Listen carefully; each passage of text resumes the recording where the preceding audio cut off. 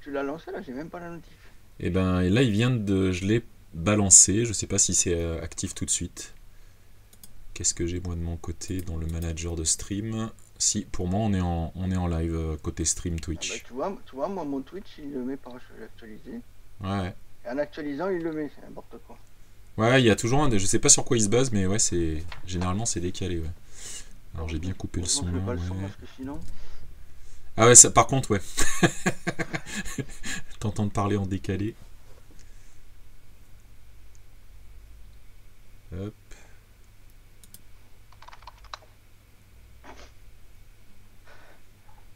Oh mince, il y a B-Box qui est connecté. Oh, il y a Patrice on, a deux, secondes de décalage. C'est impressionnant. C'est fou, hein C'est fou. Bah en fait, il y a, y a, de toute façon un décalage. Quand tu streams, il y a toujours un décalage. Mais là, la petite fonctionnalité euh, ECAM que j'utilise pour l'interview, elle passe par un petit bout de leur serveur aussi. Donc euh, il y a forcément un délai dans le, dans le flux. D'ailleurs, je vais cacher aussi le flux dessous parce que ça me perturbe d'avoir le décalage. Hop. Bah, moi j'ai décalé, je vois que le chat. C'est bien. Voilà. Hola, monsieur Patrizio.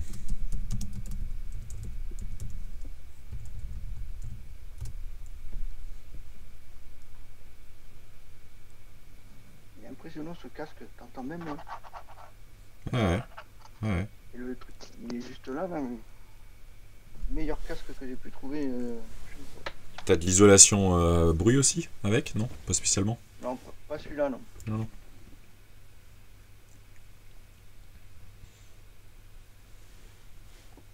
Je regarde si, j'ai besoin de sortir du gadget, ce que j'aime apporter. Ah oui, j'ai la boîte à coucou là-bas. Tiens,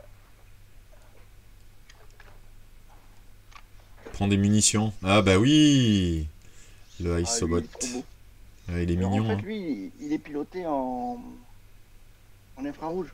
Ouais. Donc, euh, ça fait des, des, depuis que je l'ai que j'ai un projet, tu vois, de, de récupérer les codes infrarouge de chaque commande. Ouais, bien sûr, pour pouvoir piloter, avec autre chose. ouais, de le piloter de l'extérieur, mais j'ai toujours rien fait. Ah, je, connais un peu ça. Moi j'avais le Darwin Mini qui est devenu euh, le Metabot euh, parce que j'étais plus dans les. Ah ouais, ouais. Ouais, je connais un peu. De l'autre côté, encore un peu. Ouais. Voilà, super. Et MIP. Et je peux pas m'en servir parce que le chien il veut le bouffer. Alors Patrice, tu dis une petite surprise à venir ce week-end. Bah écoute, euh, moi j'aime bien les surprises, ça tombe bien. Mais pas trop, pas toutes, pas comme celle que j'ai eue lundi soir avec mon fils. Si je peux éviter, c'est pas mal. nous, aujourd'hui, c'était censé qu'il y ait de la neige. Mais... Bon, bon. On va, on va démarrer, je pense. Ouais, moi je. Puisque de toute façon, généralement, tant que je démarre pas, euh, les gens arrivent pas. Vous avez un instinct pour, euh, pour attendre que ça soit démarré. C'est que tu as la notif qui arrive euh, vraiment en retard. Ouais, faut que je vois le décalage. Toi là, ça fait 5 minutes. Ouais. Je sais pas combien de temps on met pour la recevoir. T'as raison, il faudrait que je calcule. Bah moi, Parce qu'après pour le replay, je m'en fous, je peux couper, euh, je peux couper ce qu'il y a en trop au début. Donc, euh. Ok. Et eh bah c'est parti. Voilà, Calme 17, première émission euh, avec un invité. Donc on a la chance d'avoir avec nous Stéphane, qui va, que je vais laisser se présenter. Ouais. Bah, box pour la plupart. Oui, qu'on voit, évidemment. Oui, je précise, qui euh, déjà est passé voir l'émission plein de fois. Ouais. bidouilleur euh, comme, tous, nous tous. Oh oui. Enfin, bidouilleur en temps normal, parce que ça fait longtemps que je bidouille pas, mais bon. Euh, non, c'est pas ça, c'est les projets en maturation. C'est juste. Voilà. voilà. J'ai beaucoup bossé sur le. Alors, je sais jamais le dire. Le P4WNPE, parce que le, le, le Pwn, le Pwn P, ouais. ouais j'ai fait l'interface euh, pour le OLED là. Ouais, voilà, comme ça on le voit. Et en fait, c'était pour, c'était pour faire, euh, pour m'apprendre le Python. J'avais fait ça. Ouais. C'était la première fois que je touchais du Python pour faire ça.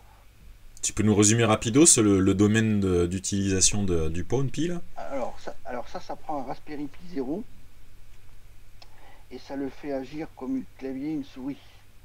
Un peu comme les, euh, les duck, euh, duck trucs là. Ouais. Sauf que comme c'est c'est tout pilotable via l'interface web, tu peux le programmer comme avec du JavaScript et euh, tu peux t'y connecter sur Bluetooth. euh. En gros, si tu le mets, euh, si tu l'intègres dans un clavier, tu as quasiment euh, un ordinateur chez, chez, chez là où tu l'as. Et comme ça envoie des commandes clavier, clavier, souris, réseau, c'est-à-dire que tu as des failles de Windows où c'est que en fait ils envoient euh, histoire de pour récupérer, pour rentrer dans les sessions euh, sans avoir le mot de passe en gros. On va faire ça très court. On est parti pour deux heures. Euh, en gros, comme ça fait euh, une interface réseau avec une métrique ultra basse, dès l'instant où tu connectes en USB, elle est même prioritaire sur ta carte réseau LAN. Donc si le, le PC est verrouillé, en fait, tu arrives, tu branches ça, et lui il récupère le, le hash de le hash d'authentification et tu casses le mot de passe en, en- en pas long. Alors faites ça uniquement avec vos machines, bien entendu. Voilà. Moi je le fais parce que je suis admin réseau, moi ça m'arrive de, C'est voilà. de- de- Moi j'ai légalement le droit de, de casser les mots de passe. J'ai le droit. C'est fait partie du boulot quand tu as un commercial qui s'en va sûr. et qui te laisse le PC sans le mot de passe, et ben, moi je fais pas avec ça, hein, je vais plus vite. hein. Je, je rentre dans la machine, je fous le mot de passe à blanc, ça va plus vite. C'est pareil sur les Mac d'ailleurs. hein. Ah oui, oui, je, je, je, Ah ouais, connais c'est- deux, trois façons de faire. Mais moi, c'est pas mon métier, j'ai pas le droit. Euh, ben moi, moi je fais un peu ce que je veux donc. euh, voilà, donc des- après j'ai des pis partout, hein, c'est comme chez toi, j'en ai là. euh, J'ai ça que j'ai pas encore essayé, le module euh, LoRa du M5. Ouais. J'ai pas essayé. Je l'ai acheté, j'ai pas essayé. Tous les petits trucs comme ça là aussi. Là. Ouais, toute, toute la famille qui va autour du, euh, du corps. Ouais, mais pas le papier. Oui, oui, oui. oui bah c'est le, moi, c'est le premier que j'ai eu, le corps. J'ai eu le grey corps, là aussi, euh, où Voilà. ils ont eu euh, pas mal d'accessoires. J'aime bien tout ce qui est euh, truc de sécu, tu vois. Tous les trucs qui servent. Alors le, le- le flipper, comme on parlait la dernière fois, ça c'est le truc que je l'attends. euh. Donc en gros, euh, ça va remplacer euh, ça en grande majeure partie. Ouais, je vais voir si je peux repartager la page, parce que comme tu l'as pas encore reçu, mais que c'est, ça ne Non. saurait tarder. Ça va me, par- ça va me Hop. remplacer ça. Hop. Je sais pas si tu connais ça. C'est ceux de chez Proxmark qui font ça. Ah non. D'accord. Ça fait 8 tags NFC. Ah d'accord. Totalement auto. Ok. Euh, Ok, ok. Je sais plus. Je sais pas, il s'allume ou pas Ah si, si, il a encore un peu de batterie. D'accord. Et en fait, euh, c'est euh, le mec qui fait Proxmark et qui fait les... qui a fait ça, on... c'est tout intégré, c'était une pareille, une campagne. Financer le truc. Et euh, en gros, tu peux euh, le gérer avec euh, ton téléphone en Bluetooth ou en, en USB. Bon, moi, c'est la version pas chère Bluetooth, Ah, en USB. Et tu peux stocker jusqu'à euh, 8 tags NFC dedans. D'accord. Mais après, tu peux dire que par exemple, le slot 1, c'est un slot de copie. C'est-à-dire que tu vas copier un tag avec le slot 1. Tu appuies sur deux boutons et clac, le truc. Et tu récupères un tag euh, comme ça. D'accord. Enfin, un identifiant NFC quoi. aussi, Qui est pas mal ça là. Ouais. Ça, euh... si celui-là il a du NFC. Ah, je vais regarder si parce que ça se trouve il a pas d'NFC ce téléphone. Téléphone du boulot. Euh... euh, Si il l'a. Si, il a le NFC. Donc ça, ça te permet de connaître le. Alors moi ça clignote. Ah, elle est là l'antenne. D'accord. Euh, on, a, on a vu, ouais. ouais, voilà. Alors quand ça clignote en blanc, c'est du, du NFC euh, haute fréquence. Ouais. Et sinon, tu as du NFC basse fréquence pour les cartes comme ça là. Ok. Cartes Comme euh, Ouais, euh, ouais. pour pointer. Les badges, euh. 25 kHz. Ouais, ouais. Et ben tu vois, le, le Flipper One, il va remplacer ma carte de, de pointage par exemple. Oui, parce que j'ai vu, donc là j'ai remis le lien. Je sais pas si je peux. Est-ce que je peux partager l'écran quand on est en mode interview? Sauf que là on est en. Voilà. Hop. Ouais. Alors de ce que j'ai compris, alors je, je crois que c'est un Tac. STM32 qu'il y a dedans. Je pas J'ai. Alors. là. Donc l'objet en question, voilà, c'est celui-là, c'est ce petit boîtier et ça va remplacer, enfin ça peut agir comme plusieurs des éléments que tu nous as montrés en fait. tu vas avoir des choses euh, dans la, la gamme des, des télécommandes en 433. Ouais, alors ça c'est génial. Pour le, pour le portail, par exemple, j'aurais que mon port que pour ouvrir le portail, j'aurais ça. Pour faire mon badge, j'aurais ça. Voilà, après il y a aussi, bon, toujours ensemble, la partie 125 là que tu nous indiquais pour la partie RFID. Donc euh, ouais. il y a pas mal de badges euh, qui peuvent euh, être remplacés par ça aussi. La partie NFC qui va avec aussi derrière dans la foulée. Pour la machine à café par exemple. Ouais. il y a une partie Bluetooth, ça j'ai pas, j'ai pas creusé, c'est juste une interaction avec, avec une application. Hein. Ouais, faudrait que je vois. Après, je pense que tu dois pouvoir piloter des choses. Si on arrive à avoir un ping un peu amélioré. Ouais. Euh, je vais faire pouvoir, je vais pouvoir faire le truc que je veux faire depuis un petit moment. Je voulais le faire avec un, comment s'appelle, un, USP32, mais il n'y a pas la fonction L de ping que tu as sous, Oui, d'accord. Et avec ça, tu peux, euh, en fait, tu floudes le, périphérique Bluetooth et tu le coupes.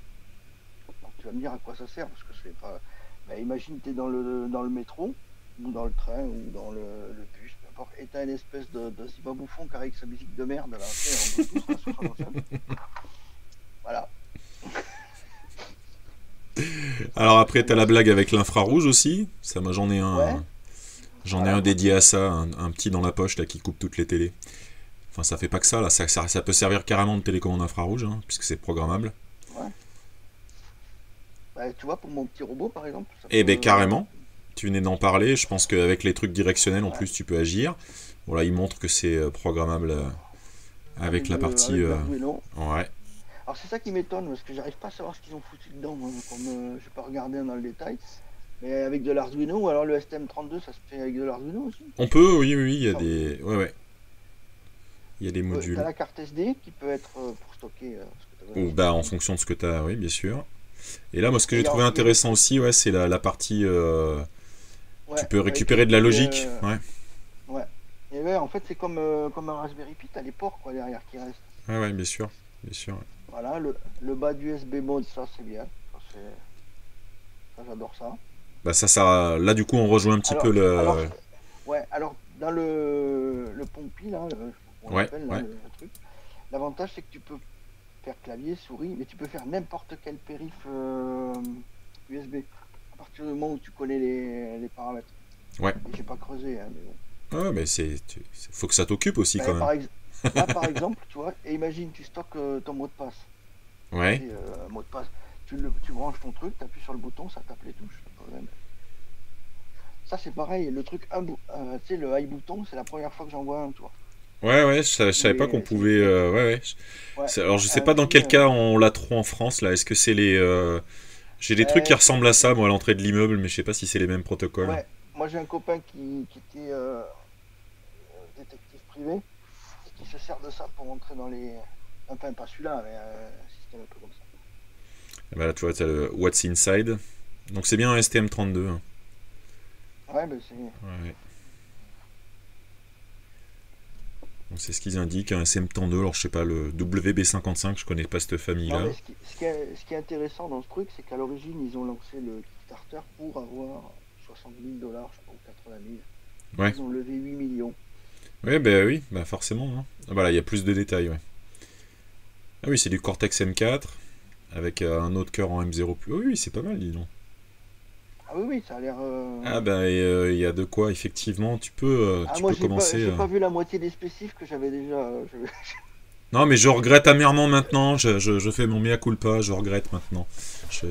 j'ai vu passer le Kickstarter, j'en avais tellement en cours, j'ai laissé tomber, mais.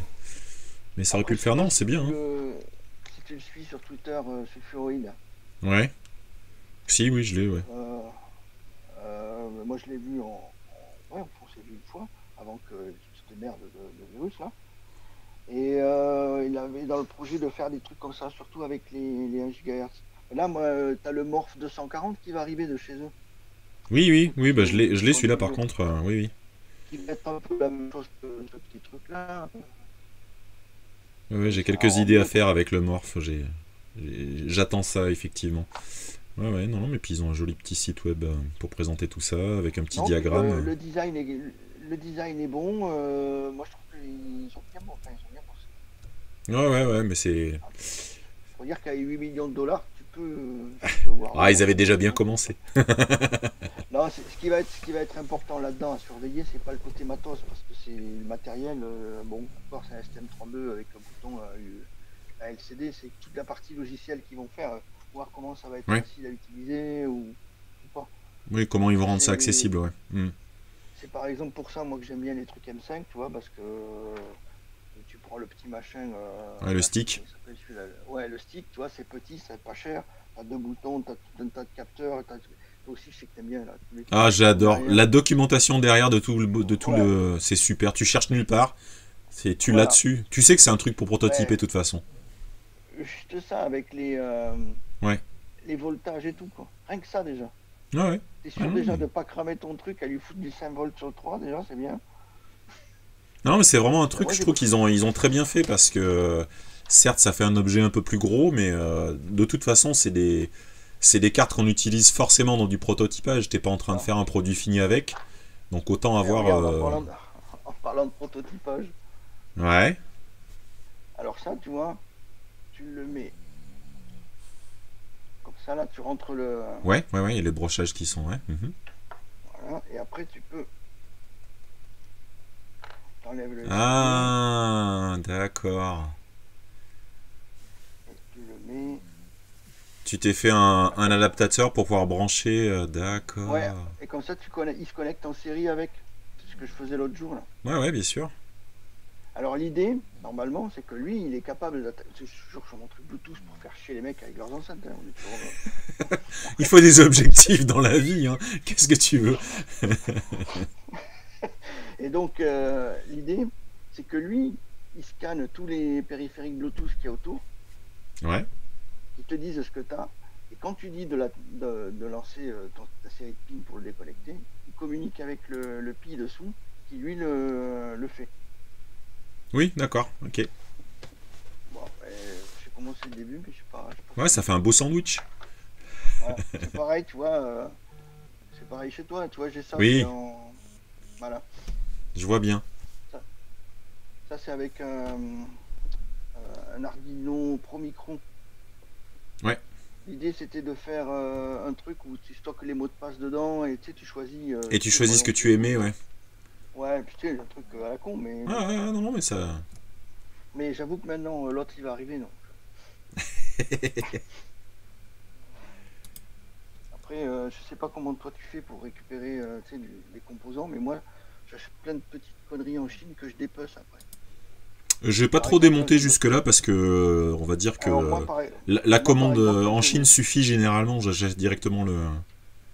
Ouais, mais tu vois, moi j'achète des petits trucs comme ça. J'ai c'est ça 2 dollars, tu vois.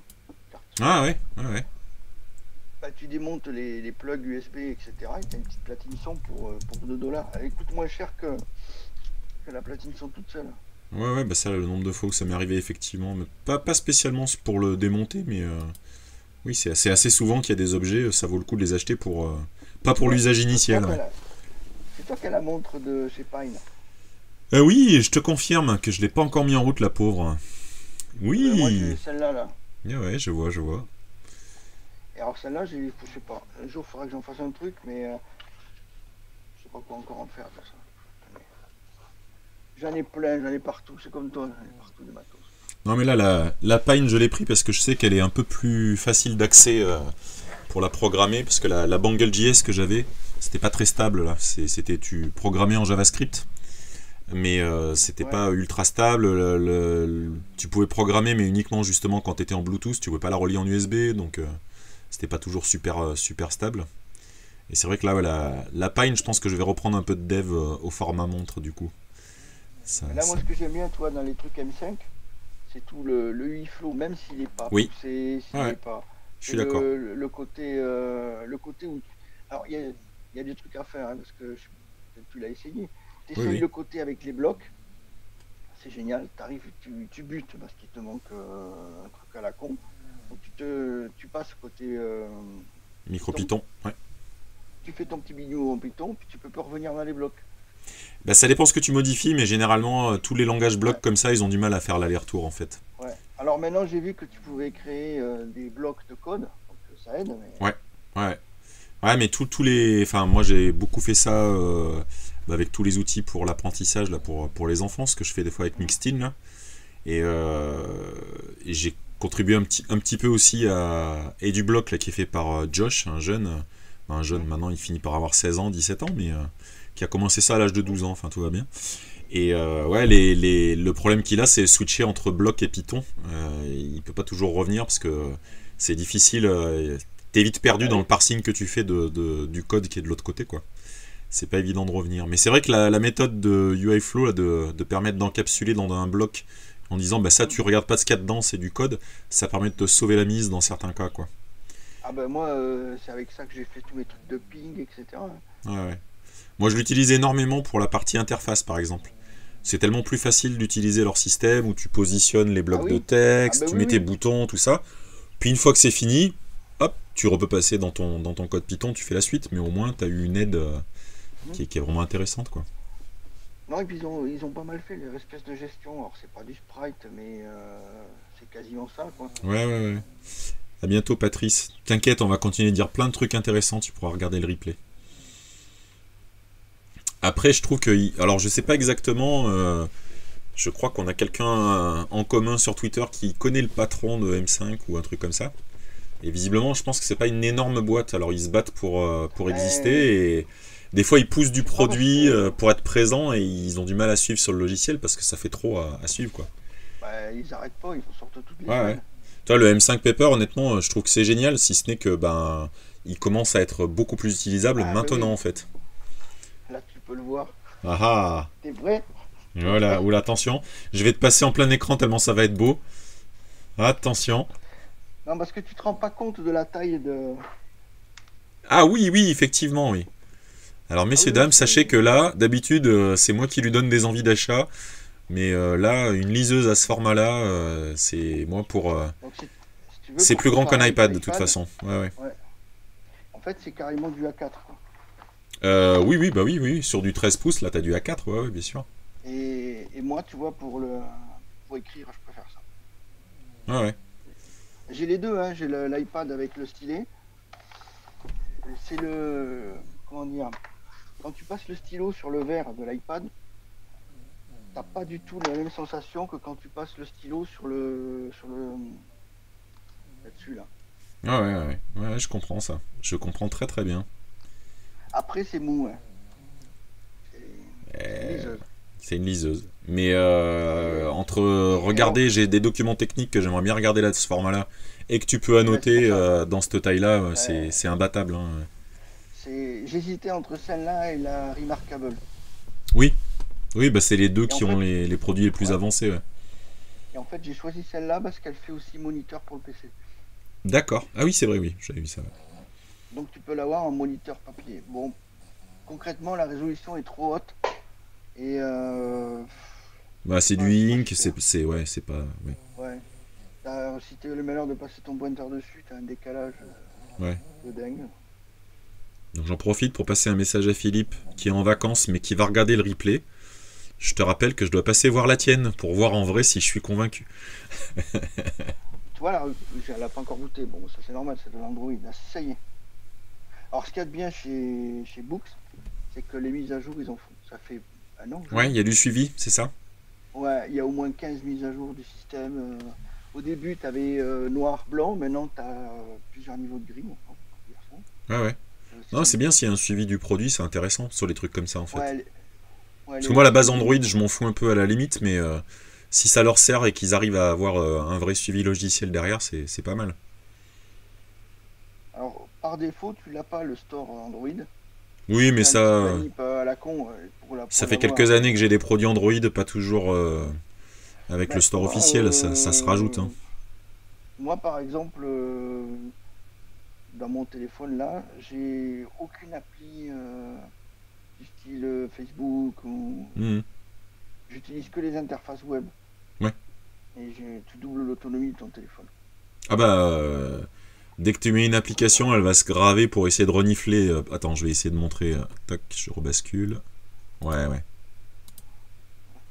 Ouais, ouais.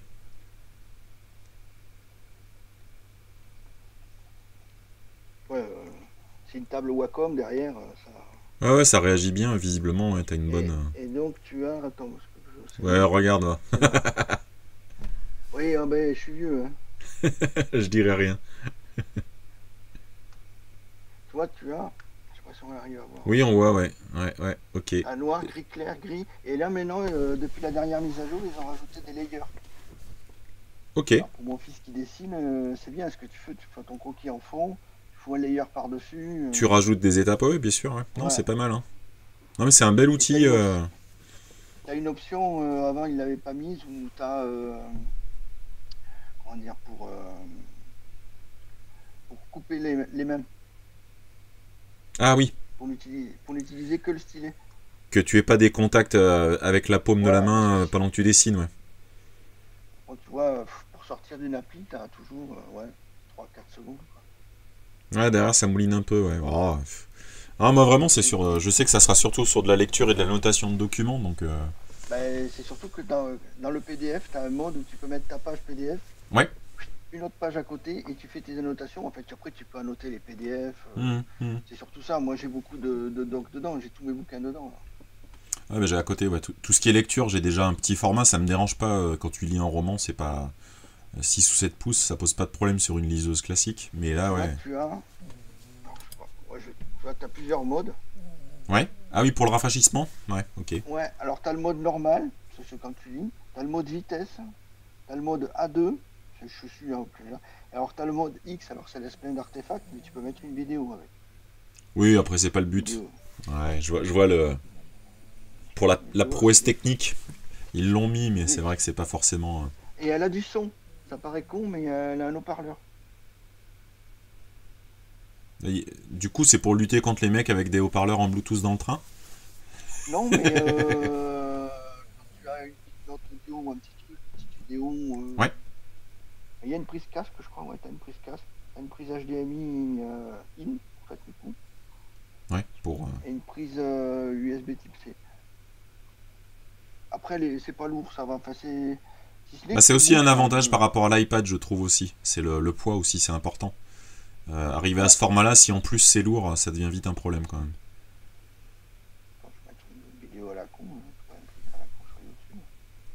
Bon, ça serait, ça serait étonnant que tu trouves Là, pas un truc à la con sur YouTube, ouais. Ah ouais. euh. tu vois, le temps que ça se lance. euh, Ouais, Ah. bah bien sûr. Après, si c'est un Android et qu'ils ont, il n'y a pas besoin normalement sur une liseuse d'autant de puissance, mais pour un Android, il faut quand même un peu, euh, faut que ça ouais, mouline un peu. hein. c'est un- quad-core, etc. Mais je sais pas pourquoi euh, il est si. Ouais. Bah, il y a peut-être des parties qui sont moins optimisées parce que c'est pas l'usage principal. Ouais, et puis là, je viens d'activer le. le comment ça s'appelle le... Ah bah le mode rafraîchissement, euh, accès- ouais. Non, j'ai activé le réseau euh, et. euh, on va mettre de la musique euh, qui relaxe. C'est un peu con, ça, ça va pas bouger. Regarde. Attends, attends, attends, reviens en arrière, toi. Je vais mettre un truc vieux. Ah, ça pour de la pub, ça t'inquiète pas que ça marche. Hein. Là, je vais te mettre ça. hein. Tu vas t'entendre.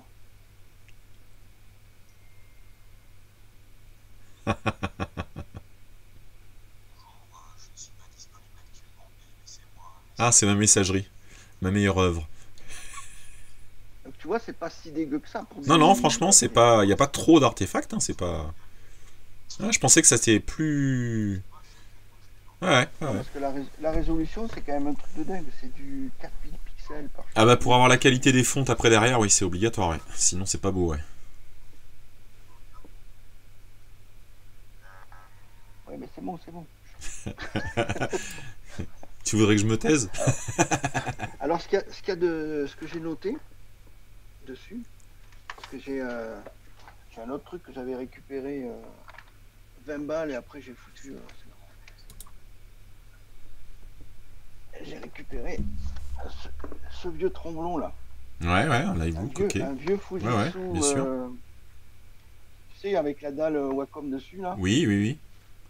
Et bien les stylos de les stylos de ceux-là, ils marchent sur le. Ah, ils sont restés. Euh, c'est du Wacom, Ouais. ouais, d'accord. Et ça, c'est bien à savoir parce que les stylés, euh, Oui, oui. tu peux avoir des stylos un peu mieux quoi. Ouais, ouais, mais j'en ai une petite Wacom ici, là. Je vois bien. Et tu vois, ça, c'est le genre de truc que j'ai récupéré avec de la Chine. Je l'ai récupéré euh, une... une vente à la con. 20 euros, je l'ai payé. Il y a un bah, corps de duo, euh, je sais pas quoi dedans. ça te fait déjà moins cher que le stylet si tu l'achetais à côté? Voilà. Mais le stylet, il était pas. Je l'ai pris en Chine pour pas cher. Enfin, je n'ai pour. Euh, pour même pas 200 ou 300 euros parce que j'ai rajouté de la RAM, j'ai repris une batterie. Euh, je l'ai remis en route et puis bon, il faudrait que je le vende parce que je m'en sers pas en fait.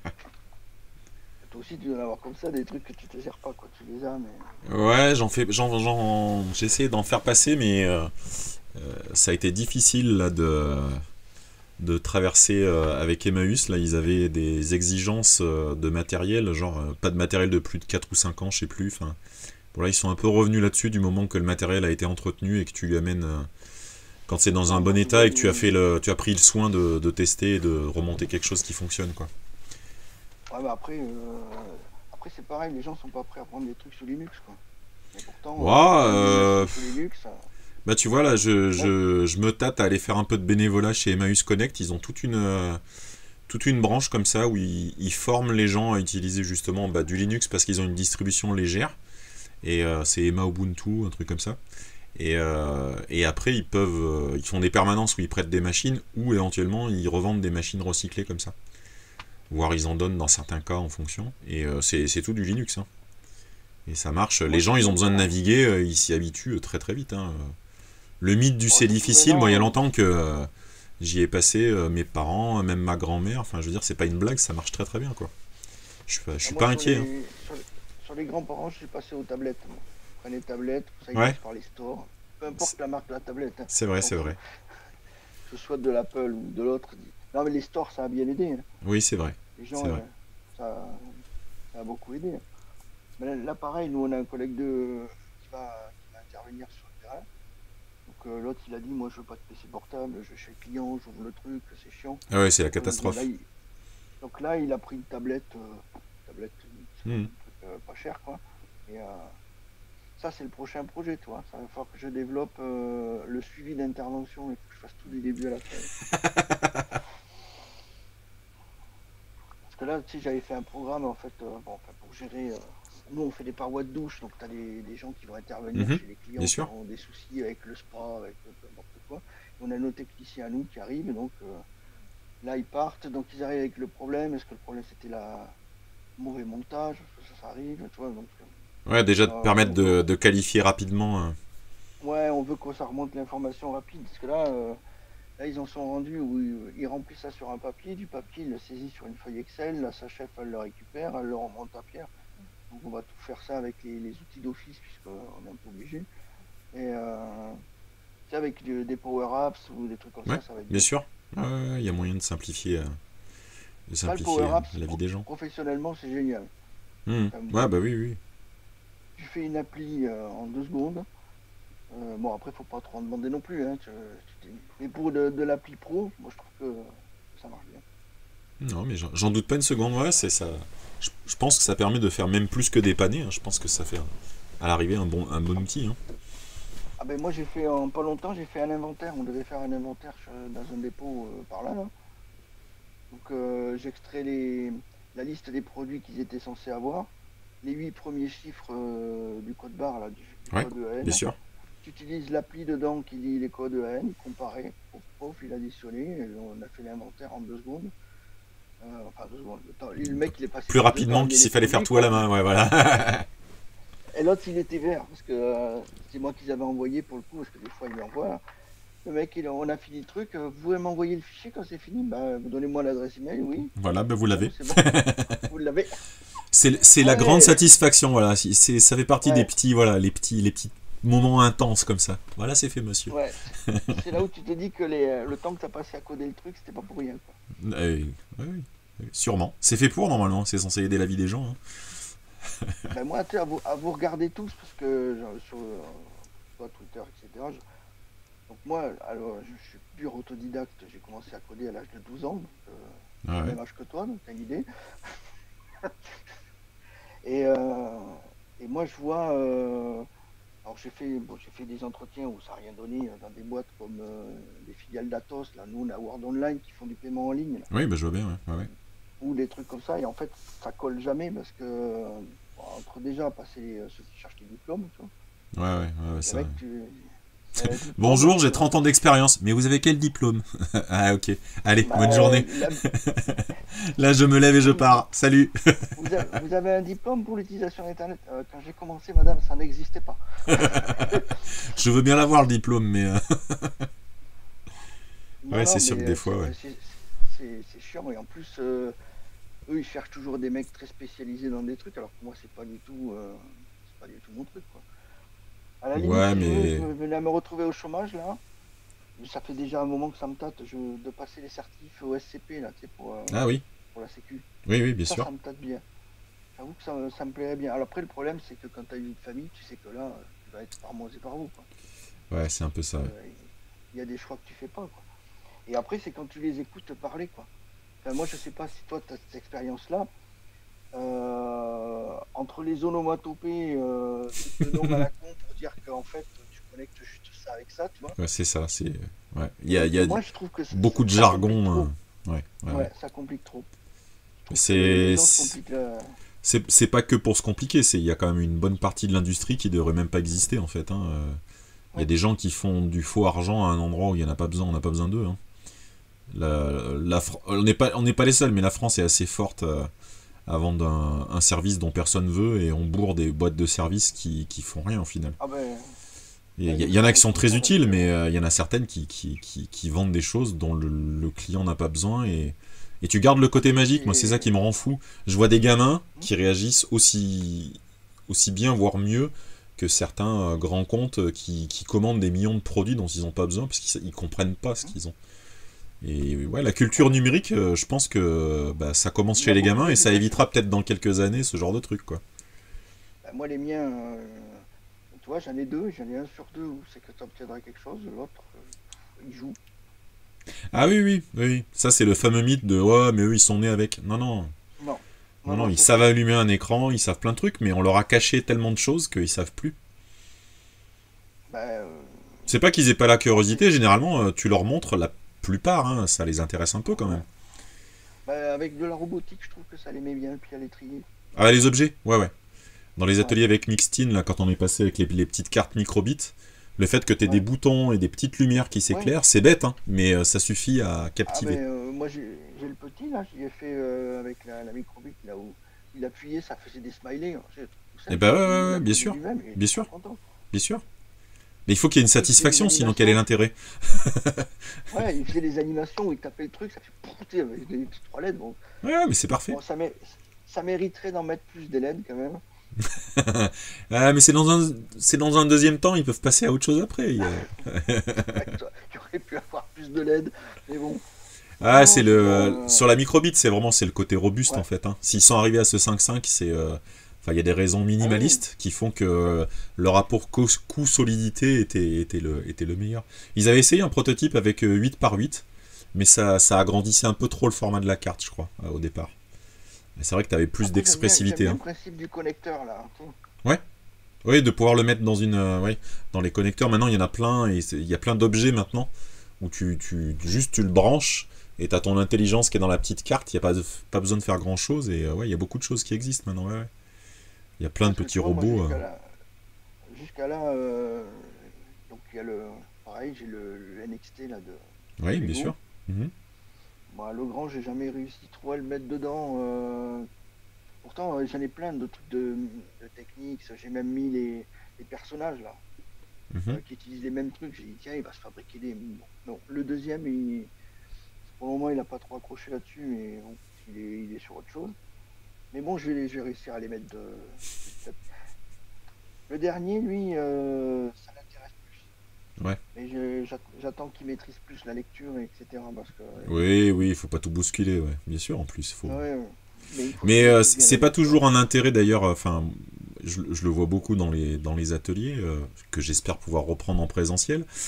T'as as beaucoup d'enfants, c'est pas tellement qu'ils vont s'intéresser euh, dans le sens, euh, c'est une activité que je veux faire, que ça soit en loisir ou en métier, mais euh, ça les intéresse au moins le temps d'un ou deux ateliers pour se dire que bah en fait, ils sont, ils sont pas si bêtes que ça, et le truc qu'ils ont dans leurs mains, ils comprennent ce qu'il y a dedans un peu, quoi.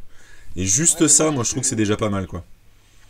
Mais moi, j'avais un prof, hein, parce qu'à un moment donné, j'avais passé une formation, en gros, c'était analyste programmeur spécialisé dans les nouvelles technologies qui sont plus nouvelles maintenant.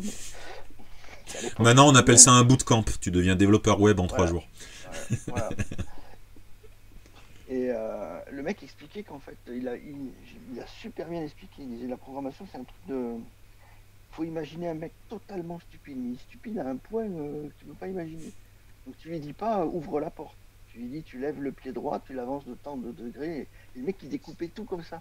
Et il dit si vous arrivez à découper chaque action en, en petits trucs, c'est plus facile. Moi j'ai toujours fait comme ça, les gros projets. Euh, il y a le, toujours. Il y a le jeu du robot que tu peux faire avec des enfants où euh, L'idée, c'est de. Tu, en tant qu'adulte, tu deviens leur robot. Tu leur donnes des instructions minimales qu'ils mettent sur un papier. En gros, euh, euh, une flèche pour aller à gauche, une flèche à droite, une pour tourner. Et rapidement, ce qui est d'assez marrant, c'est qu'ils en viennent au concept de programmation tout seul. Parce qu'ils ont envie de faire plus que le petit jeu d'instructions que tu as donné. Donc ils vont inventer des choses. Ils vont dire est-ce que je peux inventer un truc qui fait que tu mets une main dans le dos? Est-ce que, tu vois, ils essayent de. Et il n'y a pas besoin d'ordinateur en fait les jouets de maintenant, t'en as très peu, des trucs comme ça. T'en as quelques-uns, mais mm. si tu te souviens, euh, à l'époque où il n'y avait pas les voitures télécommandées, quand on était petit, t'avais des voitures avec euh, avant, arrière, droite, gauche, des chiffres, et tu programmais ta bagnole. Mm. Et ça, c'était génial. Maintenant, là, je lui ai trouvé un petit robot qui fait la même chose, mais euh, là où tu programmes, tu sais, tu fais ah, vers l'avant, deux vers l'arrière. L'autre fois, on y jouait là. Pareil, le grand, je lui ai acheté, tu sais, une espèce de. Le truc de Hanky.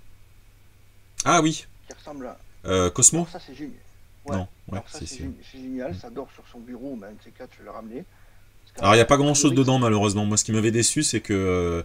Il n'y a, vraiment pas possibilité de le rendre autonome. C'est très dépendant du. Alors, déjà, connexion obligatoire par téléphone, ça m'a rendu fou, ça.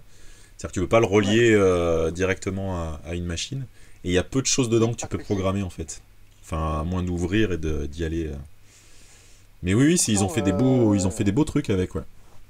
Est-ce que tu peux le développer en Python et tout après, avec reconnaissance faciale euh Ouais, ouais, ouais, mais t'es obligé d'avoir euh, le téléphone et le PC qui tournent. Enfin, t'as as un ensemble qui est vachement complexe pour un, pour un jouet, quoi. Mm. C'est dommage, sinon l'idée était sympa. Ouais, ouais, ouais. Ouais, puis c'est joli, il est mignon, quoi, avec ses petites expressions faciales, les petits bruits qu'il fait, c'est mignon, ça. Ouais, puis moi j'avais imprimé un autre cube, tu vois. Oui, ah bah oui, oui, oui. Pour qu'il reconnaisse et qu'il. Ouais, ouais. Ouais, en fait, tu imprimes un autre cube euh, que celui-là, euh, puis tu as d'autres codes barres que tu peux. Euh, que tu peux rajouter après. Rajouter tes propres codes barres, en fait, c'est un peu dommage. Mais bon, il y a de l'idée. Hein. Bah là, c'est en train de s'ouvrir, je crois, puisqu'ils ont coulé et ont été repris, ou je sais plus, il y a eu. autour de Cosmo, là, il y a eu tout un tas de, choses qui se sont produites, là. Ah, pas suivi, moi. Il y a eu un espèce de reboot, ça a été revendu à une boîte qui en fait autre chose, mais qui a l'air de d'ouvrir un peu plus les choses, faut voir. Parce qu'il y avait un grand frère à Cosmo euh, oui, qui a à peine eu le temps de vivre. Oui, je, parce que j'ai dit c'est bon, un ça suffit, puis quand même c'est un peu pas cadeau quoi. Ouais, bah oui, oui, bien sûr. Euh, ta, ta, ta, pareil, moi les robots, euh, j'en ai dans l'autre pièce là-bas, euh, j'avais le robot de, de Mécano, là, le Spikey. Oui. Après en bas, dans la chambre du grand, on a le robot de Mécano, le grand là. Ouais, ouais.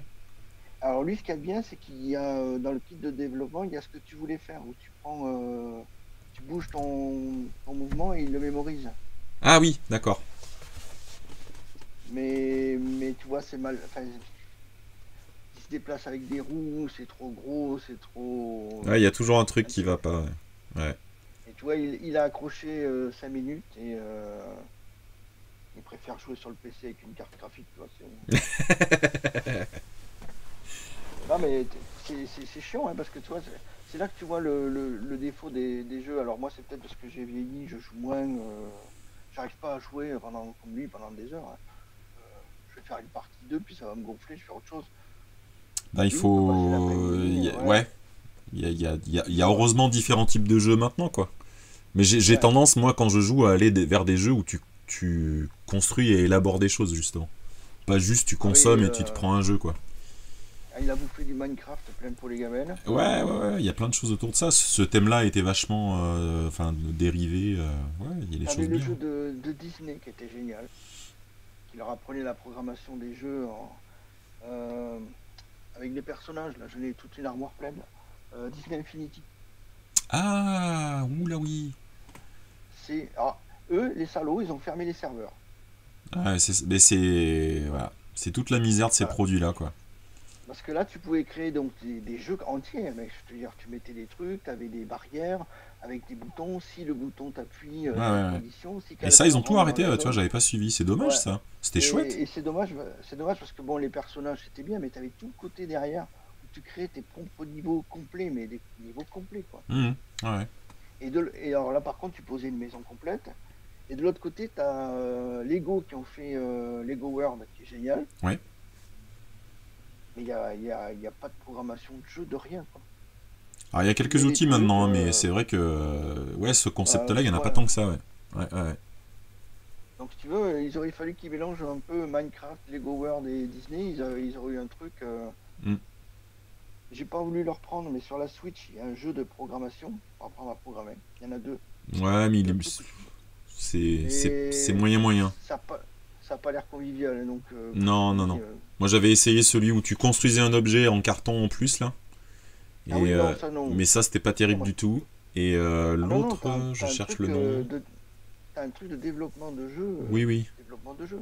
Niveau 15 balles, je crois, ou un truc comme ça. Hmm. Ah, c'est vrai qu'il y a, un... bah, il y, a, il y a beaucoup. Enfin, après, moi, je, je m'amuse à faire des petits jeux à côté avec Godot Engine qui est un ensemble un petit peu, on va dire, concurrent open source à tout ce qui est Unity.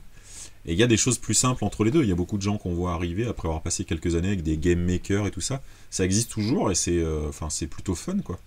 Où tu vas construire ton jeu, euh, tu vas élaborer tes règles de jeu, c'est pas mal.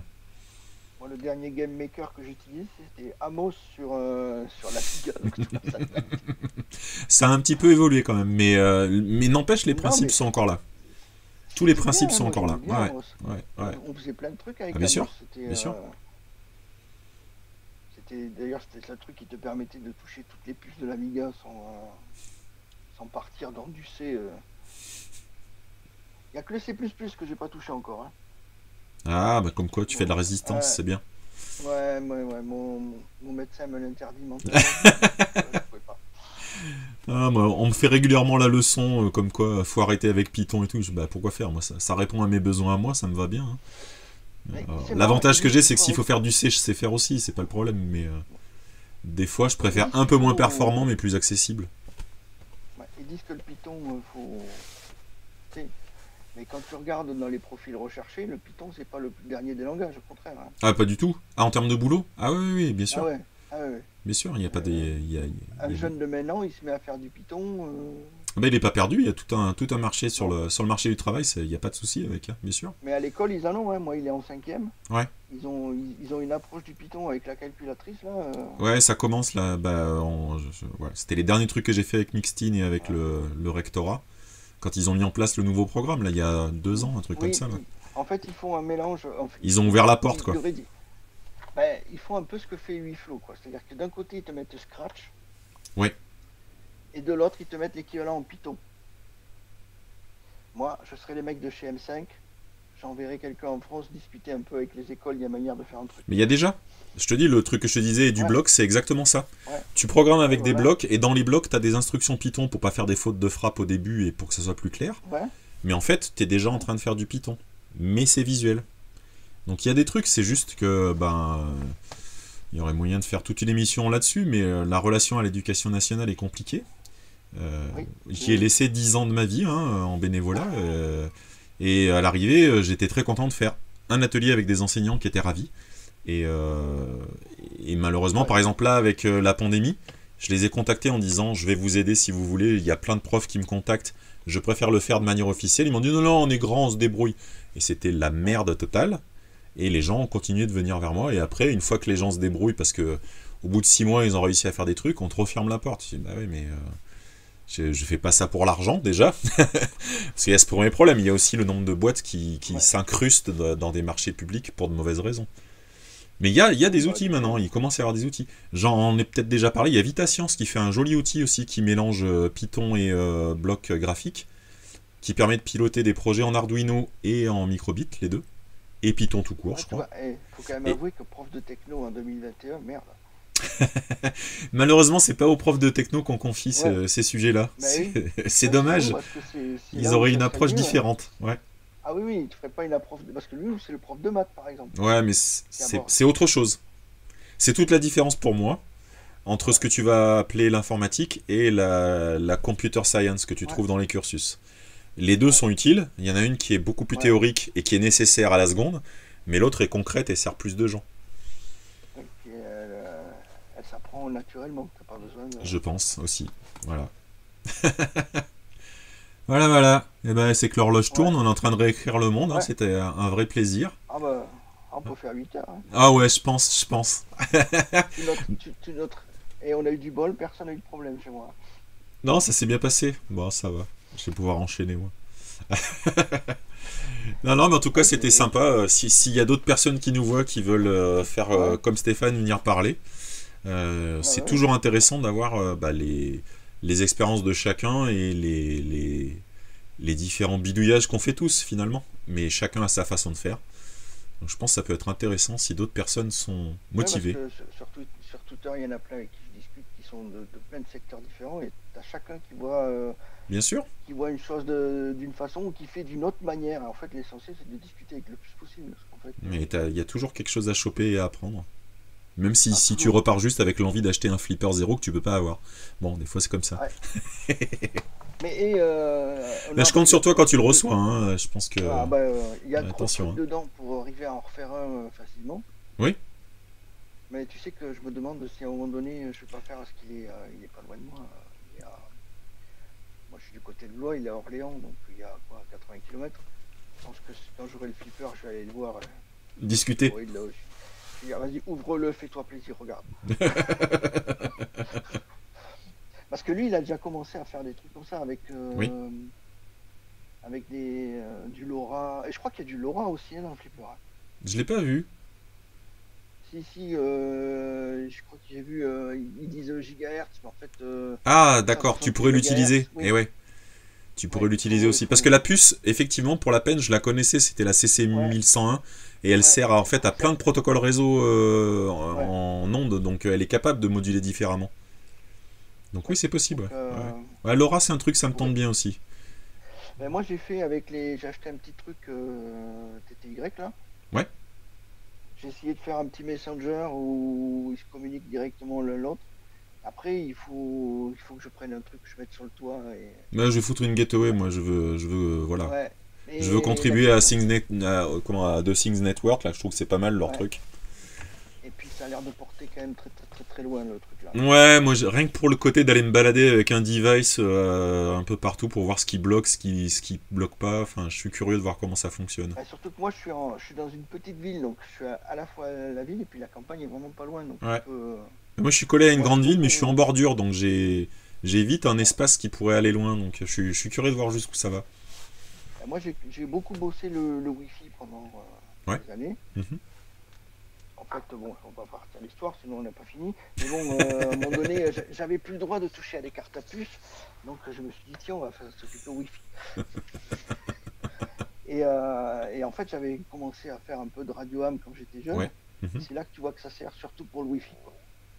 Où tu peux augmenter les portées. J'ai fait des portées de dingue. Encore, c'est pas moi le pire. à Montauban, les mecs, ils ont fait des trucs. Euh, de, euh, coteau à coteau, les mecs ils font des, 50 km allez. Ah, mais quand on, quand on maîtrise certains aspects, euh, l'aspect antenne, l'aspect amplification, parasitage, enfin il y a des, des, concepts qu'on retrouve dans tous les systèmes radio et quand on maîtrise ça, c'est fou hein, ce qu'on peut faire. Ah, une fois que tu connais les, les dB, tu sais qu'il mm. ne faut pas trop amplifier une antenne quand elle a du dB, etc. Allez, avant de partir, je t'en montre une antenne. Mesdames et messieurs, j'espère que vous êtes bien accrochés. On n'est pas prêt de rendre l'antenne, comme dirait l'autre. Allez hop. Ça, c'est une antenne Wi-Fi, ça. Voilà, une petite antenne Wi-Fi de rien du tout. Voilà. Autant te dire que là, j'ai fait un test avec le téléphone, après je cherche. Euh, donc moi, je suis à, quoi? À, 600 mètres. Hein. un mec, euh, parce qu'avec le Wi-Fi, après je suis allé avec le téléphone pour voir. J'ai mis ça sur, devant la fenêtre. Je chopais le signal à 75% du signal stable. Après, je me suis pas connecté, donc je sais pas si la connexion était stable, mais euh, j'ai fait sur d'autres. Euh, le truc, il est à 800 mètres et la box, elle est dans sa maison. Donc tu, avec ça, tu, c'est des antennes euh, cubicales quad hyper directives. Et, euh, ouais, c'est ça. Je crois qu'elle fait, elle fait 25 dBi ou un truc comme ça. C'est un truc de, malade. Alors là, pareil, attention si vous voulez faire des expériences à la maison, les ondes radio, il y a une législation, faites gaffe. Oui.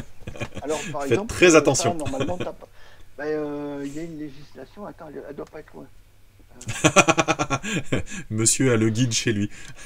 le guide du bon radio amateur. J'ai une antenne que je peux pas me, servir. Euh, parce que tu vois, tu as, ces antennes en omnidirectionnel aussi qui sont pas mal. Elles font 8 euh, ou 10 débits. Et j'en ai une, putain, que j'en ai fait.